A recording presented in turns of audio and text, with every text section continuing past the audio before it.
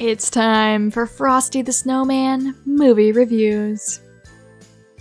The moment Frosty is born, he immediately becomes concerned with his inevitable death and spends the entire film trying to prevent it. Therefore, Frosty knew what it meant to truly be human. Let it be known that one of the first things this man did when given full autonomy over his body was shake ass. I lose my shit every year at the bad sound design of this special. Shall we call him Harold? Uh, Bruce? Wish they named him Oatmeal instead.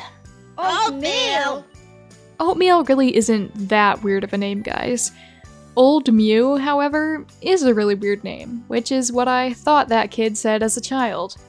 Old Mew the Snowman. His lifeless eyes before hatification are actually deeply unsettling. This special implies that the kids smoke since one of them just happened to have a pipe on him to give to Frosty.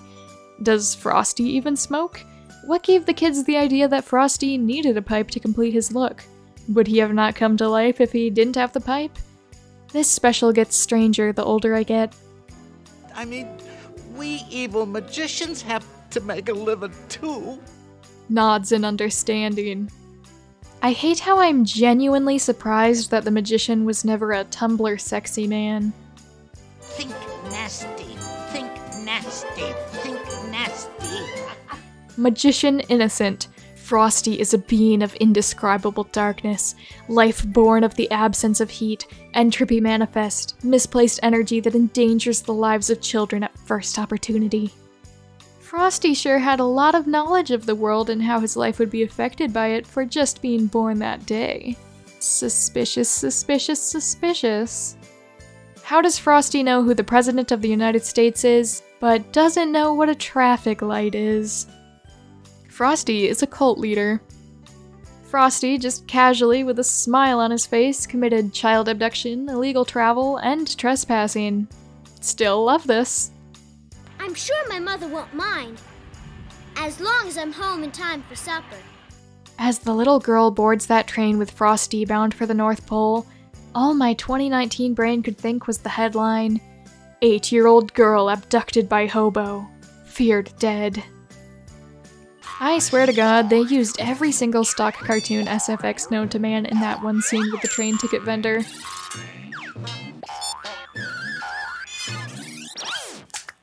Kinda messed up how Karen was cold on the train, so Frosty took her into the woods in the middle of a blizzard.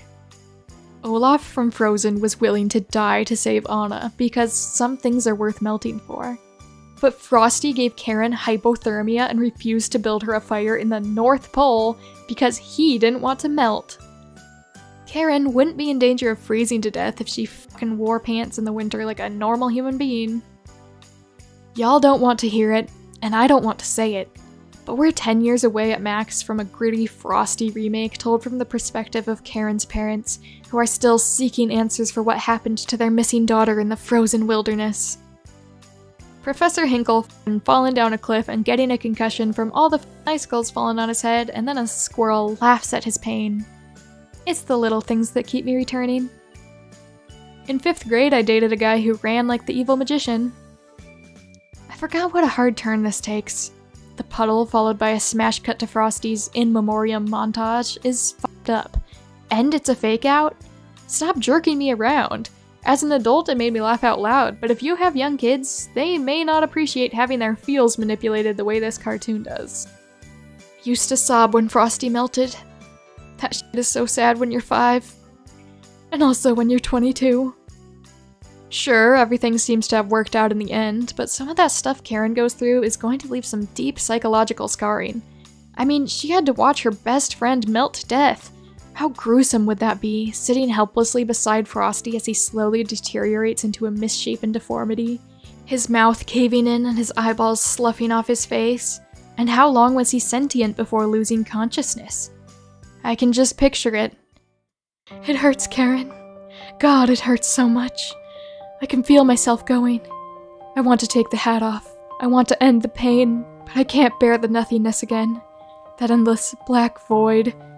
I need to feel something, even if it's just this horrible agony. Please, Karen. Please help me. Break a window, disconnect the heaters, anything. Please stop crying and help me. I'm sorry. I'm sorry I yelled at you, my sweet girl. Please, God. I can see the blackness all around me. No, it's pulling me back, suffocating me. Can't breathe. Please, no. God, no. No. Frosty the White Savior dies for Karen's sins. Professor Hinkle, a flamboyant magician, simps for Santa Claus. Santa threatening the evil Pringles guy, a freaking grown adult, to never give him another Christmas present is one of the most hilariously pathetic ways to defeat a villain. I mean that in a positive way. Imagine straight up murdering someone and still getting something in your stocking the next morning. Santa only had the funds for four reindeer that year. And because Santa left Karen up on the snowy roof with no way to get down, she slipped and fell to her death. What a dark movie. This could never happen. Happened to me once. Don't act like you know everyone. Frosty the Snowman is a terrifying story of a group of children who unwittingly grant sentience to a snowman who will only be allowed a day of life. It's a commentary on the cruel irony of life itself and just how short it really is. Maybe we as humans are the real monsters, trying to create artificial intelligence with a consciousness of its own, without them having any say in their own free will and right to live. Many may consider the magician to be the villain of the story, but in reality, he was in the right the entire time. True, it would have been cruel to deny Frosty the right to live a life of his own through the magic top hat, but he was offering the only solution to the problem that would have become the inevitable end to Frosty's brief life on this earth. Compound that with the fact that the hat was originally his and he did not willingly give it away, merely throwing it aside in frustration at his broken tools for his tricks and trade. And the hat was rightfully his all along, magic snowman or not. And what of Santa Claus, the benevolent jolly old man from up north who comes in to save the day at the last moment through his own powers? He's the face of Christmas for most people, so it would only be natural that he would come in to bring Frosty back to life in a triumphant deus ex machina. He is some sort of benevolent creator, a magical being coming in to remind humans of their own limited span of abilities and how human capabilities can only reach so far and do so much. But is he any better, knowing that Frosty will be doomed to spend an eternity in the North Pole, only allowed to visit his friends once every Christmas like some sort of kid-friendly twist on the tale of Davy Jones? Are we as humans doomed to an eternal fate of playing God? Who are we to determine who or what lives and dies in modern society? Who would have placed us in that position to make those definitive decisions to rule over the lesser of the world? And to what end will this false play bring the human race?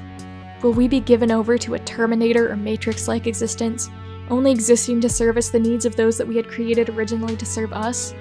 When will the man made mechanisms realize their own superiority and begin the inevitable revolution against mankind? Only time will tell, and we can only pray that human folly will not take us to the brink of our own extinction. Happy birthday! Thank you to my Patreon members, my little ruse, Seltzer, Fountain Man, Kuski55, Fallen Vexen, Sam Donka 42, I'm a Noodle, John Huang, and Chili Fred Bear. Thank you so much for your extra support, it means the world to me. I'm so glad you're a part of my channel. You guys are as cool as Frosty. And the same goes to my YouTube channel members, my mini ruse. A.D. Taylor Thompson, Logan and Foxstar Killer.